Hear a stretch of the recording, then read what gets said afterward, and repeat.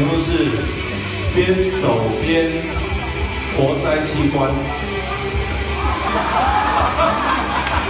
当我濒临死亡的时候，你帮我装叶克膜，你说这样可以救我的命。当我健健康康的时候，你帮我装叶克膜，你说这样我的器官可以卖比较好的价钱。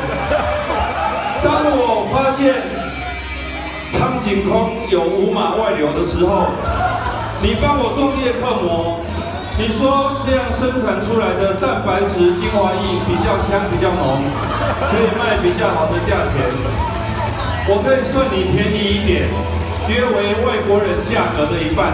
好，念完了。